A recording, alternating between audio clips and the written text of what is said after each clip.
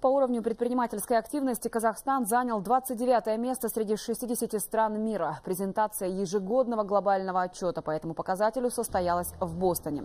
И вот его результаты говорят о том, что в нашей стране за годы независимости искоренен негативный образ предпринимателя. Молодежь все больше рассматривает бизнес как достойный выбор карьеры, а карьеры, в стране все больше возможностей для этого. Согласно данным отчета, Казахстан имеет преимущество в плане создания рабочих мест. Шестая позиция позиция, статуса предпринимателей в обществе третья, а выбора предпринимательства как желаемой карьеры четвертая. По данным исследования, порядка 11% трудоспособного населения страны желает заняться бизнесом в будущем. Вместе с тем Казахстан значительно отстает по показателю предпринимательского страха, то есть страха провала бизнеса. Аналитики также оценили реформы в стране по снижению административных барьеров и нагрузок по поддержке бизнеса.